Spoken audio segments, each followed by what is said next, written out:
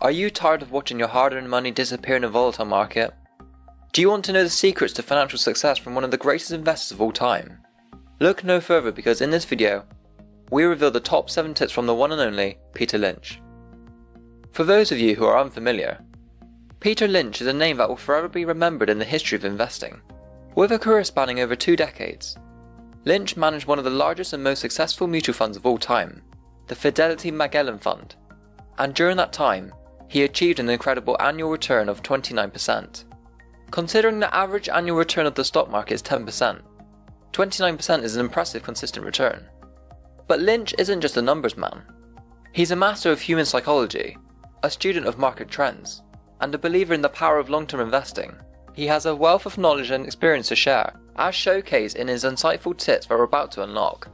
We'll also follow the journey of how Lynch's tips can inspire individuals like Laura to go from a gambler to a true investor. If that sounds appealing to you, then make sure you sit back, grab a pen and paper, and prepare to take notes. Get ready to embark on the journey towards financial freedom. Laura was a hard-working receptionist who lived in a small town. Despite her busy schedule and low salary, she was always on the lookout for ways to improve her finances. Her dream is to one day be financially free, to live life on her own terms. She had always been fascinated by the stock market and began investing in a few companies last year.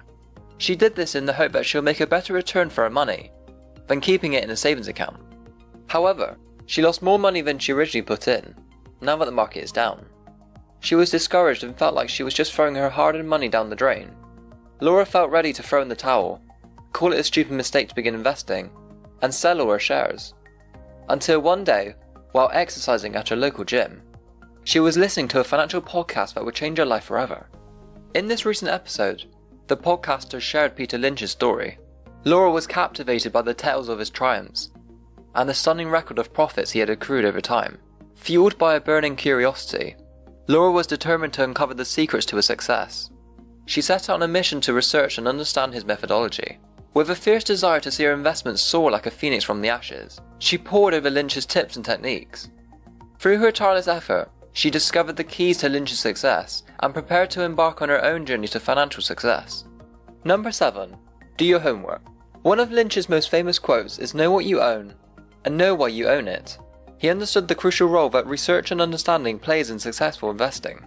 But for Laura, her lack of research has left her in a precarious position. As her investments falter and her confidence crumbles, she finds herself on the brink of giving up. Yet this desperation stemmed from a fundamental flaw in her approach a failure to heed Lynch's advice and fully understand the company she has invested in. Without knowledge, her investments are nothing more than a roll of the dice, leaving her feeling lost and defeated. But with research comes power and the ability to weather any storm. Building upon the last tip, number 6, is invest, don't gamble.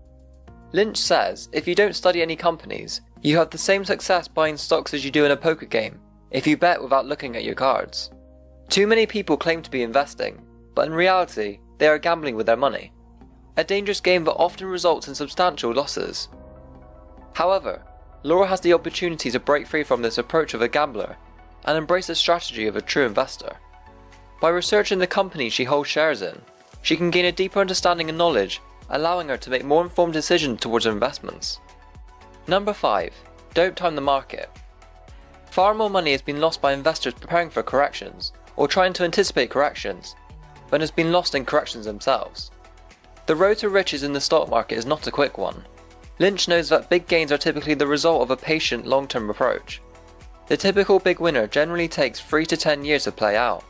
Attempting to time the market to make a killing when it recovers is a dangerous trap that leads many down the path of financial ruin. A better strategy for the average investor is the dollar cost average, an approach that delivers the best average price over the long haul. The stock market is a long distance race, not a sprint. Laura embraces this wisdom, recognizing that the best path to success is to focus on consistently making money and investing it, rather than wasting time trying to time the market. With this approach, she'll be well on her way to financial success. Number 4. Expect to lose. In this business, if you're good, you're right 6 times out of 10. You're never going to be right 9 times out of 10. Lynch delivers a reality check. This truth, though hard to accept, is something all investors must come to grips with when investing in single stocks. The stock market is unpredictable. Research can only take you so far. as Lynch himself acknowledges. You never can predict the economy. You can't predict the stock market. If Laura is investing in individual stocks, she must embrace the fact that not every pick will be a home run. However, with a resilient and realistic mindset, she'll be poised for success. Number 3. Temperament is vital to success. In the stock market, the most important organ is the stomach. It's not the brain. Lynch stresses the importance of having a strong temperament, especially in the stock market. Stocks rise and fall due to the buying and selling of other investors, and too often, emotions drive these decisions. Without a level head, many investors suffer losses. It's essential for Laura to assess her personal risk tolerance and understand the role emotion plays in her investment choices. Don't be like others who let emotions rule their investments. Strengthen your stomach and hold your ground for long term success. Number 2. Keep it simple. Never invest in any idea you can't illustrate with a crayon. The secret to successful investing lies in the ability to understand the value of a company, and the simpler it can be explained, the easier it is for others to grasp the concept and see the value. Don't let complexity be the downfall of your investment portfolio. The simpler the better. As an average investor, Laura can factor this tip in her decision whether or not to invest into a stock. Embrace the wisdom of Peter Lynch, who reminds us that behind every stock, there is a company. Before we reveal our final and perhaps most important tip, if you are enjoying this video so far, make sure you subscribe to the channel, so you never miss a video. Number 1. There's more to life than money. Lynch would say, if you're lucky enough to have been rewarded in life to the degree that I have, there comes a point at which you have to decide whether to become a slave to your net worth by devoting the rest of your life to increasing it, or to let what you've accumulated begin to serve you. At the pinnacle of success in the mutual fund industry, Lynch chose to prioritize happiness over just increasing his wealth. He recognized the importance of finding balance in life and understood that there's more to life than just chasing money. This is a valuable lesson for investors like Laura, as she strives towards financial freedom and independence. It's crucial for her to reflect on what else she wants to accomplish in life besides wealth. Does she see herself solely as a receptionist? Or does she have a greater purpose in mind? These are the questions that Lynch's wise words inspire her to contemplate. Lynch's wise words remind us that there is a delicate balance between our financial success and our personal happiness, and it's important to find that balance. At the end of the day, investing is not just about making money, it's about creating a better future for ourselves and the people we care about. By following Lynch's advice, Laura can make sure she's not just accumulating wealth, but also creating a life of fulfillment and joy. Laura feels rejuvenated listening to the wise words of Peter Lynch, and optimistic to continue investing. Determined to turn her finances around, with a new sense of optimism, Laura decided to take a more serious approach to investing. She continued reading and watching everything she could find about Lynch and began to implement some of his strategies into her portfolio. She applied Lynch's tips into her strategy, like the importance of researching companies and investing in what she understood. She also started paying closer attention to her personal finances and began making small changes that would have a big impact over time. With each passing day, Laura's confidence grew. She started to see the results of her efforts and was thrilled with the short term growth in her portfolio seen so far. She continued to learn and grow as an investor, taking online courses and attending seminars to further her knowledge. However, like all investors, Laura faced challenges along the way.